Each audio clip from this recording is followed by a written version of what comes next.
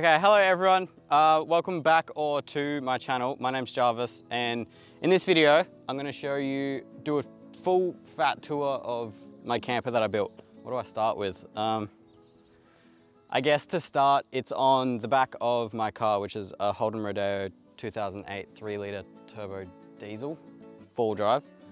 So it's a dual cab, has heaps of space in the cab and also a 1.8 meter tray. This whole thing is, it's all secondhand um, that's why it has writing and shit all over it. But basically it's all made out of, completely out of cool room paneling and RHS steel. So it's 50 mil cool room paneling, so it's full insulated and 40 mil RHS. Now, I guess come around here. This is my good old door. This is how you get in. And this is my rope. So my door, I've just got a 1.4 meter wide door on gas struts. And this stuff, it's fully made out of uh, ACM, which is aluminium composite panel. And then I've just got more 25 mil RHS. It's all RHS, um, the whole frame.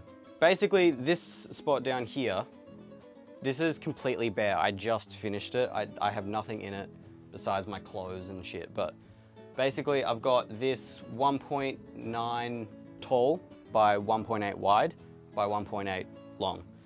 So this whole area is the chillaxing area, I'm gonna have, I'm gonna have the kitchen side all the way over here. So it'll be, you know, a big, massive long bench, stove there, fridge on slide out things, and then all my electrical gear up in this side, which I've just got two batteries right now. And then on this side, I'm gonna have a couch, a big old couch, which is also like a chest, so I'll be able to fold up the seat and then be able to have storage of tools and whatever I want in it. But for now, all I've got is, I've got, I made up these shelves out of 25 mil angle and then just some, but these, it's just interlocking panels of wood and then I've just got the steel frame. And that's where I store my entire life, which is just saucepans, cameras and clothes. And then on this side, I've also got another one, which is a bit smaller so it doesn't go all the length because this side I have my head when I sleep yeah, I've got my bed. So this is a double bed, so it's 1.8 by 1400, which just fits a double bed, so it's not queen size, which is a bit of a bummer for taller people, but for me, I'm shorter than 1.8, so I fit perfectly.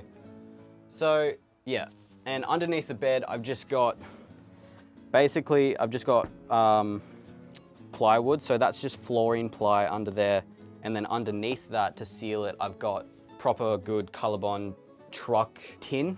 So it's stuff to actually make it like this shit here is that's in the weather. So, and then I've just siliconed it all, all of it. It's all watertight. So in the rain, no water gets in here.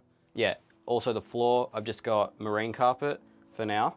You know, I, people do do like just flooring, like actual wood, but I've gone for the marine carpet just because it's so versatile. I'm able to just spill shit and then pull it out and wash it and then put it back in. And then underneath it is also just flooring ply. That's pretty much the inside. I'm also, other plans in here is I'm gonna put a roof vent here and then a couple massive windows. So there'll be a big window here on this side, big window on that side, and then a circular window probably at my head up there. And then that's about it. I need to do lighting and everything like that. So, but it's all a work in progress.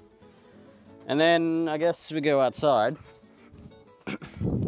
so, back out here, I've just, I was gonna go the full door, so the full door length, but I decided to only go 1400 and then leave a 400 mil gap.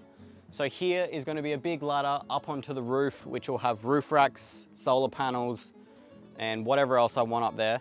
And then behind the ladder is also gonna be uh, a big gas bottle and then the lead will go inside because I don't want the gas bottle inside the camper.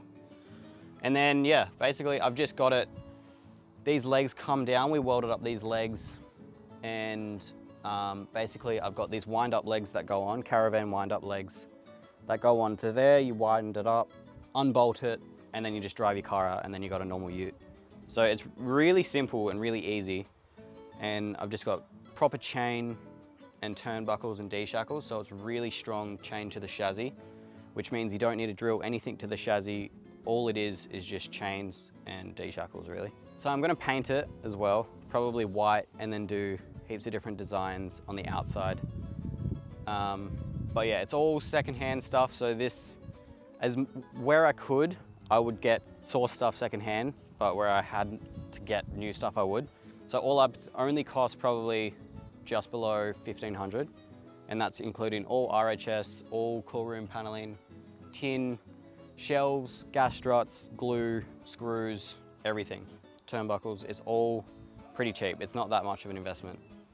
And yeah, it's pretty good. It's livable. So I've been living in it for like a month. And yes, so there will be a full video of the actual build. So every single step that I do from start to finish of the camper build. So if you do want to watch that, keep an eye out, that'll be out soon. And obviously I'll keep doing things to it. I'll keep adding different bits like kitchens and water tanks and solar panels and stuff like that. And I'll put it up on my channel for you guys to watch. And then I'll be boosting over to WA with most likely Dylan, who's my cameraman today. He's also building one. So keep an eye out for everything like that. And we'll see you in the next one. Ew! That's what you want in life. That's what you want. This man right here.